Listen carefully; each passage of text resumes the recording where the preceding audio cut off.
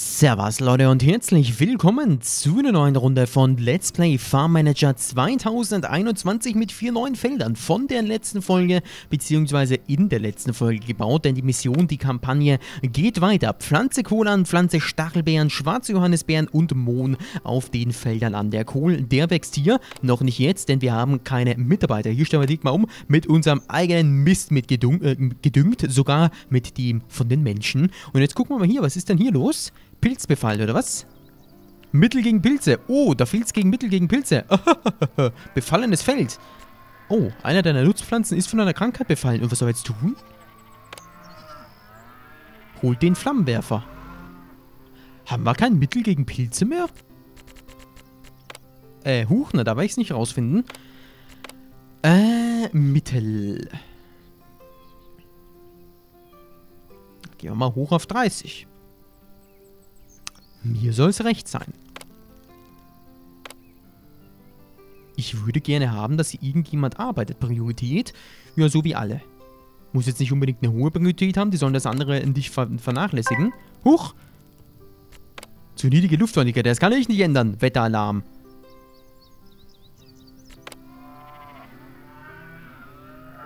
Ah, da könnte man ausschalten. Die Benachrichtigung, nee, will ich auch nicht. Huch.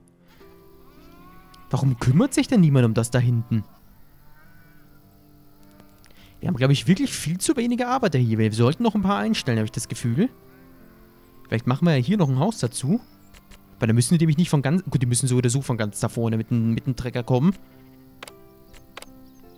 Äh, huch. Da wollte ich hin. So, ganz sozial sind wir. Äh, machen wir das mit ein bisschen im Abstand hierhin. So, dann spulen wir mal ein bisschen vor. Die sagt dann nur, wir sollen es anbauen. Die sagt dann nicht, wir müssen das hier ernten. Also mal gucken, was dann rauskommt. Es wird darauf hinauslaufen, dass wir was ernten. Das ist nämlich äh, Sinn und Zweck des Ganzen hier.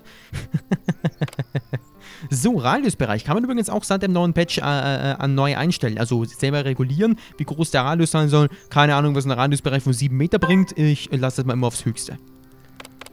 So. Und jetzt? Gerion Alp Altheim. Naja. Naja, der will zwar fast nichts gezahlt, aber naja, da gibt's bessere. Hoffentlich.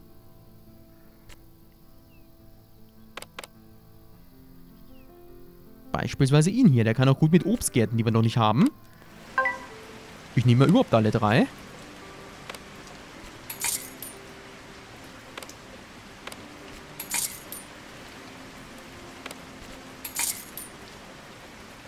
So. Na, da geht schon mal los. Sehr gut, sehr gut, sehr gut. Okay, wir pflanzen hier an. Äh, erstmal noch gar nichts. Erstmal gucken wir mal. Äh, wie viel brauchen wir denn? Machen wir mal die schwarze Johannisbeere. Die haben wir hier. 1008 Stück. Na, da, wo hatten die die Idee wieder herbekommen? Wo hat denn die, die Idee, wo hat denn die, die Idee herbekommen, dass wir hier schwarze Johannisbeeren pflanzen sollen? Die kosten uns 15.982 Euro. Ich setze, sehe das jetzt mal wieder als Euro hier. Die kosten uns knappe 16.000 und bringen uns 14.500. Das heißt, wir machen pro Wachstumszeit 15 Ta äh, pro 50 Tage, also ich schätze mal jetzt so 4 bis 5 Durchgänge pro Jahr 1500 minus. Das sind hochgerechnet 3000, 4500, 6000, 7500 minus. Ist jetzt nicht viel, aber ganz ehrlich, mit dem Kohl machen wir, weiß ich nicht, wie viel Gewinn. Mit, ich glaube, 50 Euro Einsatz. Hier zahlen wir 60, äh, 16.000 ein und holen uns nur 14,5 zurück. Na, dir, dir, den. Wahrscheinlich hat die einen eigenen Bauernhof bankrott geführt und die will jetzt hier bei uns mitmachen.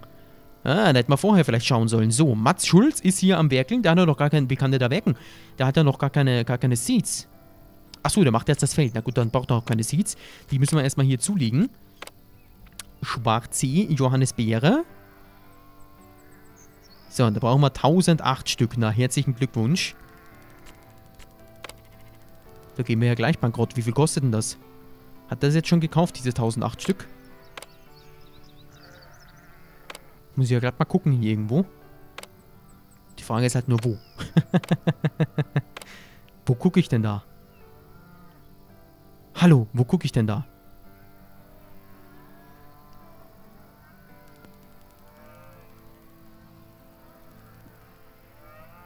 Das sind nicht die Seeds. Die müssten ja normalerweise ganz oben stehen, oder? Künstlicher Dünger haben wir eins, na super. Dafür haben wir 13.000 Futterrüben. Ah, 1008. Jetzt interessiert mich das einfach mal, wie viel das kostet. Ich meine, wir lassen es ja immer automatisch kaufen. Achso, ID 16.000. Na gut, das haben wir ja eh gerade rausgefunden. Okay, okay. So. Dann geht's hier weiter. Bevor wir da weitermachen, gucke ich mal ganz kurz, ob er vielleicht... Huch, ob er vielleicht andere... Na, toll. Genau die richtigen. Ähm, die hier arbeiten möchten. Was war denn noch? Mohn.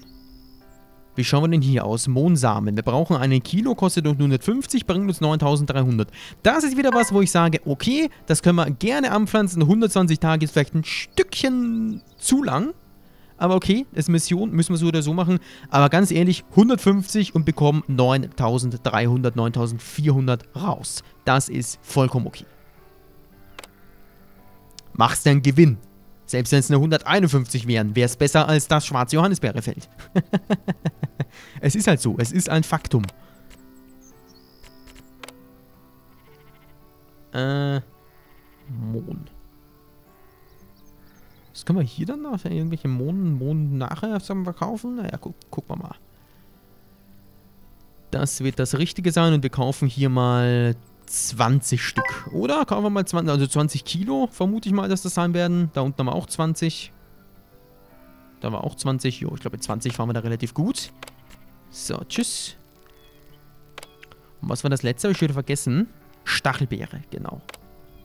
Stachelbeere 1307 bringt uns 9156. Finde ich auch okay. Bringt uns zwar nicht so viel, da bringt uns der Kohl viel, viel mehr. Aber ganz ehrlich, es ist ein Plus dahinter. Das ist schon mal die Hauptsache. So, jetzt habe ich nicht geguckt. 950. Was fehlt denn da wieder? Keine Maschine. Pfluglili. Okay. Vielleicht sollten wir uns noch einen Flug dahin stellen. Obwohl wir den ja auch nur jetzt ganz oft brauchen und später dann nicht mehr.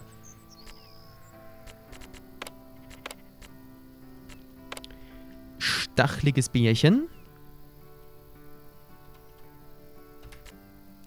So. So, danach. Na, ich hoffe, da wird noch was gepflanzt. Nicht genügend Arbeiter. Okay, dann gucken wir direkt mal wieder hier rein. Der ist gut in Pflanzen und mit Obstgärten. Den nehmen wir. Ich war zwar immerhin äh, äh, äh, bisher immer so bedacht darauf, dass ich nur diejenigen nehme. Sind die hier eigentlich auch da drüben arbeiten? Nee. Äh, nur diejenigen nehme, die wirklich nur mit den Pflanzen beschäftigt sind. Aber ganz ehrlich, wenn der volle 5 Punkte, 5 von 5 Punkten hat, warum sollte er nicht da arbeiten können? Der kann da arbeiten, dann kann er von mir irgendwann mal später auf Obstgärten arbeiten, wo auch immer wir die hier noch unterbekommen sollen. Ich hoffe mal, irgendwann wird das da hinten freigeschalten, denn sonst haben wir bald einen Platzmangel hier. Ich wüsste nicht, wo wir da noch so verschiedene Dinge hinpflanzen sollten. das geht schon langsam über. Ich glaube, wir sind ein bisschen übers Ziel hinausgeschossen. Wir haben hier zwar noch relativ viel Platz, aber kommt drauf an. Dann sagt irgendwie, lege, weiß ich nicht, was für ein Riesenfeld an und dann, hm, schau mal blöd aus der Wäsche. Aber ich vermute mal, es wird sich irgendwann mal bis dann nach hinten ausbreiten. Warum sonst sollte es das hier alles geben? Warum soll's, sonst sollte es hier Ställe geben und äh, so viel mögliches Zeugs hier, Müllhaufen beispielsweise, eine verlassene Maschine, wenn wir das alles nicht brauchen müssten, brauchen dürfen, benutzen dürfen. Weiß ich schon. Irgendwann mal. Im Laufe der Kampagne, denke ich mal, werden wir uns da hinten auch nochmal wiederfinden. Da werden wir unser Millionengeschäft hier dann aufgeben. So, ich würde sagen, was wir jetzt hier aufgeben, ist erstmal die Warterei. Und wir stellen uns jetzt noch so eine Milchverarbeitungsanlage dazu. So, mal gucken, dass der halbwegs da... Nein, da habe ich ja wirklich viel zu groß gebaut. Wah, wah, wah. Da können wir ja gerade noch eine Strecke durchziehen.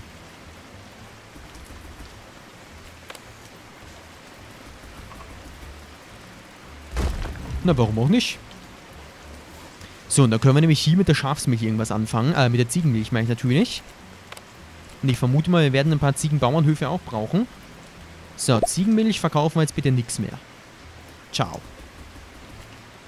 Ziegenkäse. Ist das der Ziegenkäse? Ich glaube, das ist der Ziegenkäse. Nicht genügend Arbeiter. Oh. Jetzt kommt eh der Winter. Da haben wir dann wieder viel zu viele Arbeiter natürlich. Wie sieht es denn hier hinten eigentlich aus? 509 Erdbeeren haben wir noch. Ich bin nämlich überlegen, ob wir da vielleicht auch niemanden zweiten einstellen, aber ich weiß nicht. Noch sind mir nicht genügend Erdbeeren da hinten. Wenn wir da mal über 1000 sind oder so, gut, da kommen wir ja eh nicht hin. Die verkaufen wir ja dann. Ich verkaufe mal keine Erdbeeren. Ich setze auch den Erdbeerenhandel 1500, haben wir gesagt. Ich setze den mal aus. Alle Erdbeeren, die wir haben, kommen da hinten hin und werden zur Marmelade. Und spätestens, wenn wir zu viele haben, können wir uns hier noch einen zweiten oder dritten dazu gönnen von den Arbeitern. Und wenn wir dann immer noch zu viele haben sollten, dann können wir immer noch verkaufen. Ist ja nicht so. So, wir gucken nochmal hier. Der kann nix. 44 Arbeiter. Hier ist alles voll. Guck mal. Hier sind 8. Hier sind 6. Gut, einer davon arbeitet da hinten. Also sagen wir mal 5. Sind 13 insgesamt. Hier sind doch mal 4. Sind schon 17. Gut, die haben auch wir haben 17 Felder, glaube ich. Genau, wir haben genau 17 Felder. 18 Felder sogar. Ja, gut. Okay, vielleicht noch ein paar. Sind wir mal nicht so. Ich glaube, wir brauchen aber leider auch noch ein paar von den Ziegen hier. Ich glaube nicht, dass wir mit dem einen hier auskommen werden. Haben die eigentlich schon nachgebrütet? Sieben sind hier schon, sehr gut. Gucken wir mal. Der wird ja wieder ganz gut hier hinpassen.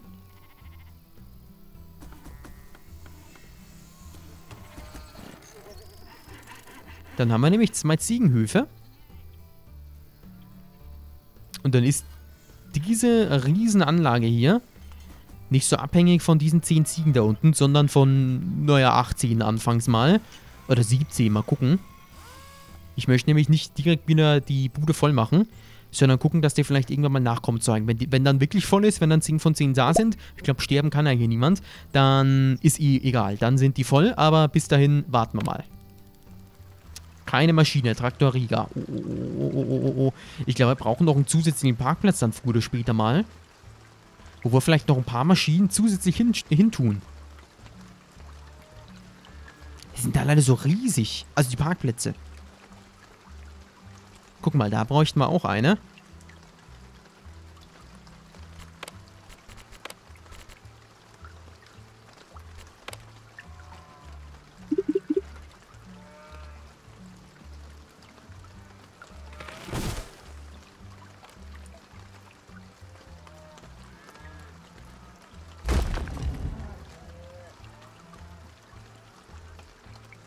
Nee, sehe ich nicht.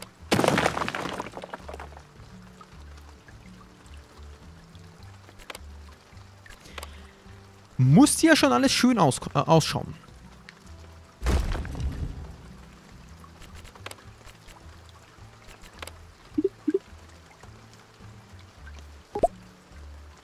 So, da lag nämlich auch gleich wieder Strom. Und dann können wir hier nämlich noch, ich sag mal, einen Kommt doch, wie viel der kostet. 45.000. Na gut, da können wir ihn nur einkaufen. Hier hinstellen. Könnte man es noch einkaufen sogar, aber da warte ich lieber mal ein bisschen. Wie gesagt, wir wollen ja nicht ganz auf Null kommen. Ja. Sehr schön. So, spulen wir mal ein bisschen vor. Haben wir hier eigentlich jetzt schon irgendwas erledigt? Nee. Wir müssen den ja noch anpflanzen. Ich glaube nicht, dass der überhaupt noch hier was anpflanzt arbeitet momentan auf Feld. Alter Falter. Eins, zwei, drei, vier Leute arbeiten hier momentan auf Feld. Was machen die denn da? Warum arbeiten denn dann so viele? Guck mal, die stehen jetzt hier, wurden gerade überfahren. Wahrscheinlich kommt jetzt irgendwie wieder so eine Spezialmaschine zum Einsatz. Wo ich natürlich wieder keine Ahnung habe, was die dann tut. Ah, guck mal an. Das gucken wir uns mal ganz genau an. Die sitzen da hinten. Ach so. Die sitzen da hinten drauf. Wahrscheinlich genauso wie hier. Und sehen dann hier das Feld an. Cool. Das ist ja Präzisionsarbeit. Finde ich cool. Da wächst der Kohl. Anscheinend noch vor dem Winter. Der hält noch 56 Tage. Wann trifft der Winter? 73 Tage, na siehst du, das funktioniert noch. Sehr schön, sehr schön. Dann werden wir mal hier hinten irgendwo kein Glück mehr haben. Gedüngt. Pflanzmaschine. Wir stellen uns vielleicht noch einen Trecker dazu. Wie ich den finde? Achso, ich könnte ja hier gucken.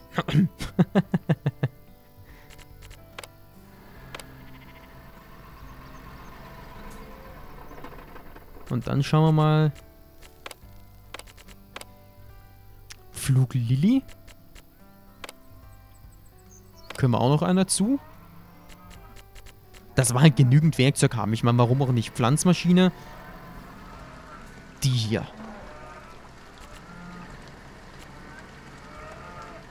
Zustand 48. Nee, da kaufen wir uns eine neue. Die kann aber ruhig hier hinten hin. So, und ich glaube, dann sind wir auch für die Zukunft wieder ganz gut gerüstet. Sollte ich... Äh, ah, guck mal, Pflanze Kohle, das ist schon wieder erledigt. Wir müssen das alles nur einmal pflanzen. Aber ich habe das Gefühl, wir werden hier irgendwo nicht pflanzen können. Kultivieren, gedüngt. Hier nämlich. Aufgrund des nahenden Winters können einige Feldarbeiten nicht durchgeführt werden.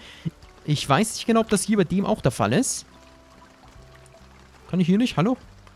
Auf Mist umstellen? Hallo, wieso geht das nicht? Ich kann hier nicht von Kunstdünger auf Mist umstellen. Das ist ja doof. Hm. Funktioniert bei dem nicht. Vielleicht später. So, dann gucken wir mal hier. Huch, was stellt denn der daher? Produktion. Nee, sehe ich nicht. Nee, nee, nee, nee, nee, nee, nee. Äh, du stellst das her, was uns am meisten bringt. Und das ist in dem Fall... Wo ist die Ziege? Da ist die Ziege. Wir können hier eh nur Ziegenmilch herstellen. Bei dem anderen hätten wir ein bisschen was anderes. Bei der Kuhmilch hätten wir überhaupt ganz verschiedene Möglichkeiten. Hier haben wir eh nur Ziegenkäse. Knappe 60.000. Bitteschön. Und braucht natürlich auch Arbeiter. Haben wir da noch Platz? Da haben wir noch reichlich Platz. Verarbeitung Maschinen. Ja. Ist okay. So, ich setze mal nur die eine da rein. Weil dann geht die Produktion nicht wirklich schnell vonstatten. Dann können wir nämlich mal gucken, wie viel dann da schlussendlich wirklich hergelagert kommt. Und wenn dann sich da die tausenden Liter an Ziegenmilch stapeln sollten, dann können wir immer noch jemanden dazu tun. Also so ist ja nicht. Da drückt ja äh, die Zeit nicht. So, die Trecker fahren langsam aus. Nicht genügend Arbeiter. Okay, dann gucken wir hier auch nochmal ganz fix. Wobei ich glaube, dass wir da mit den Arbeitern jetzt bald zu einem Ende kommen müssen. Dann haben wir wirklich, wirklich, wirklich, wirklich, wirklich viel zu viele. Und im Winter sitzen die dann alle nur rum. Wir könnten uns natürlich immens viele Saisonarbeiter anstellen, aber das will ich nicht. Ich setze ja auch Geld ein für die Ausbildung von denen. Also von dem her möchte ich, dass die dann auch hier bleiben.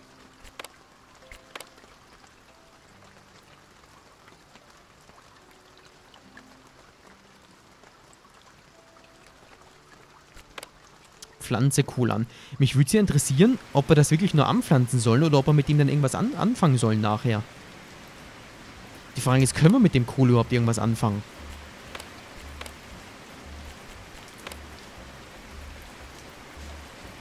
Na, wir können den Kohl nur verkaufen. Dann machen wir das natürlich auch, wenn wir dann mal geerntet haben. Können wir mit dem Mond etwas anfangen. Mit dem Mond könnten wir etwas anfangen. Ich weiß zwar nicht genau, was das hier ist. Vielleicht sollte ich das erstmal rausfinden. Gemahlener Mond. Okay. Im Lager. Vielleicht müssen wir den nämlich herstellen. Das kann möglich sein. Wir haben hier nämlich den normalen Blumen. 2,13 Euro pro Kilo. Und der kostet schon 12 Euro pro Kilo. Also den Mohn, den behalten wir uns nochmal vor. Was haben wir noch? Schwarze Johannisbeere, da könnte man wieder äh, Konfitüre, Marmelade herstellen. Da warten wir auch nochmal. Und was war das letzte? Äh. Schwarze Johannisbeere, Mond, Kohl. Scheiße.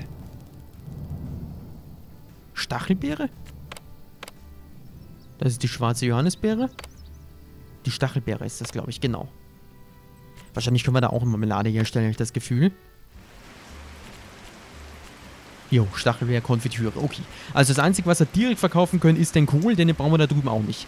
Den Kohl brauchen wir da drüben auch nicht. Den braucht überhaupt niemand. Hier brauchen wir vielleicht noch ein paar Tiere. Wäre ganz nett.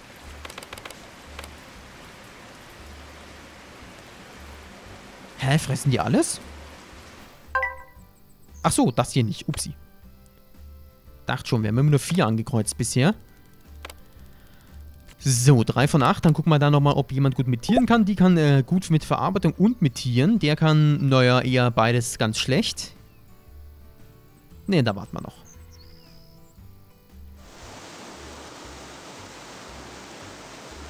Weiter mal hier gucken.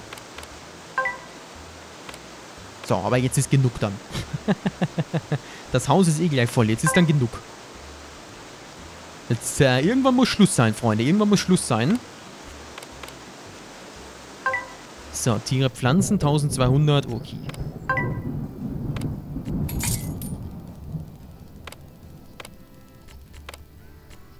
So. Hä, was ist denn hier los? Die Tiere sind bereit für die Zucht, auf Experte wartend. Aha. Und warum verhungern die? Weil es jetzt ein viertes Tier gibt, oder was? Wo ist denn die? Die ist ja nicht gestorben, die lebt ja noch. Was macht die Frau, Elisa Knopf? Unterwegs nach Scheune, das will ich mal hoffen. So, jetzt geht's denen wieder gut. Sonst bist du bald hinten im Schlachthaus. Meine Liebe, so geht das nicht hier. So, ist da, hast hier, hast hier, hast hier. Mhm, Gewächshaus, Gewächshaus, Gewächshaus. Tschüss. 283, naja, das ist ja nicht mehr so viel da hinten, was wir da haben. Wann werden denn die geerntet? 22 Tage. 14 Tage, 21 Tage, 27 Tage, das ist was anderes. Vielleicht sollten wir uns noch so ein paar Glashäuser hier hinten aufstellen mit... Mit dem hier.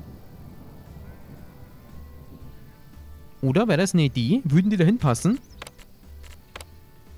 Die würden gut hier hinpassen. Zumindest mal zwei Stück, wenn nicht sogar drei Stück.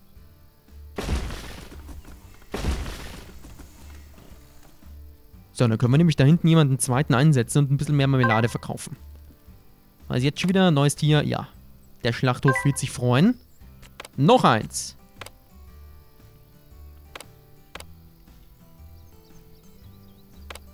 Können wir das jetzt hier ändern? Ja, jetzt geht's. Guck mal. okay. Erdbeeren werden, glaube ich, eh automatisch... Äh, huch. Achso, ja, genau. Wird automatisch. 360. Bis. Achso, 120. Okay, dann müssen wir hier 360, 480, 600, 720.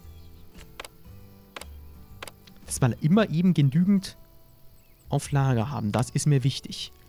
Obwohl wir natürlich nicht 720 brauchen, weil die ja nicht alle äh, gleichzeitig gepflanzt werden müssen, aber egal.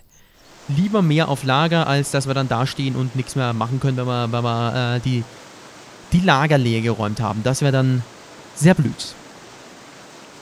So, wie schauen wir aus? Eigentlich fehlt jetzt nur noch der Mond und der kann nicht gepflanzt werden, weil wir jetzt den Winter haben. Na, herzlichen Glückwunsch. Achso, die Stachelbeere ist das da hinten. Hier. Da ist der Mond.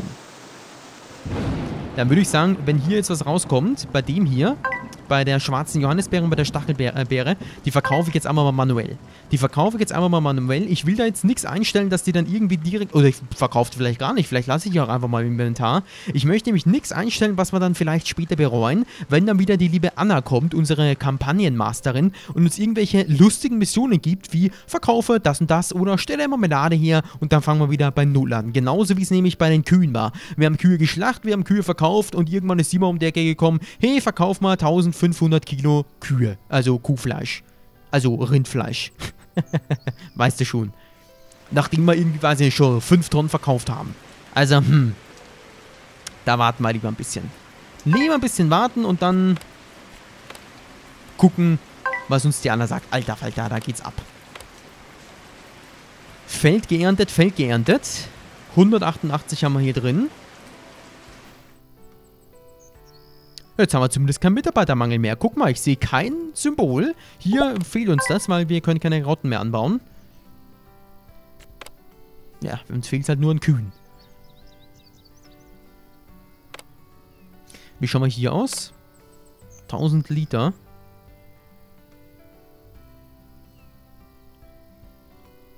...250 werden verbraucht. Warten wir mal ein bisschen. Gucken wir mal, wie sich das entwickelt. 1000 Liter ist okay. 1000 Liter können ruhig mal auf Lager sein. Wenn es dann 10.000 wären, dann müssen wir uns was überlegen. Dann sollte man jemanden zweiten da noch einstellen. Huch, was macht denn der da? Ach so, der holt jetzt die Ballen ab. Finde ich cool, wie der das da auflagert. Weiß zwar nicht, wo er die letzten dahin lagert, aber okay. so, vielleicht stellen wir da noch so einen kleinen Brunnen, einfach mal dekorationsmäßig rein. Dekorativ ist das Wort, das ich hier suche und nicht gefunden habe. Können wir da auch einen hinstellen? Ach komm. Wir können die ja nachher immer noch demolieren. Da haben wir einen. So, ein paar Brunnen gesetzt. Ist ja auch schön. Was fürs Auge.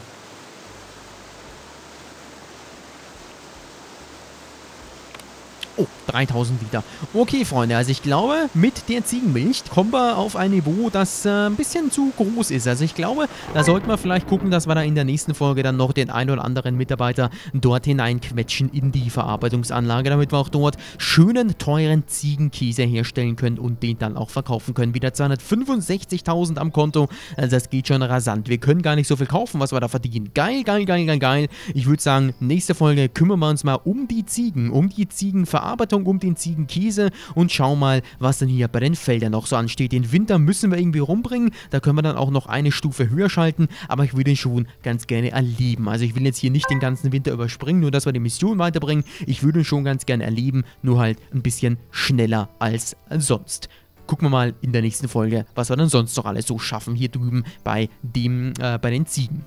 Erstmal die Milchverarbeitungsanlage, äh, die, die, die Ziegenmilchverarbeitungsanlage hier unten und dann schauen wir mal, was wir mit den Ziegen machen. Vielleicht äh, setzen wir noch ein paar Leute rein, vielleicht setzen wir dann noch äh, zusätzlich noch ein paar Ziegenhöfe hin, dass wir nicht zu viele Leute wieder haben. Es ist ein bisschen so hin und her. Wir schauen uns das dann genau in der nächsten Folge an. Danke dir auf jeden Fall fürs Zusehen und morgen geht's weiter mit der nächsten Runde von Let's Play Farm Manager 2021. Bis dahin, tschüss!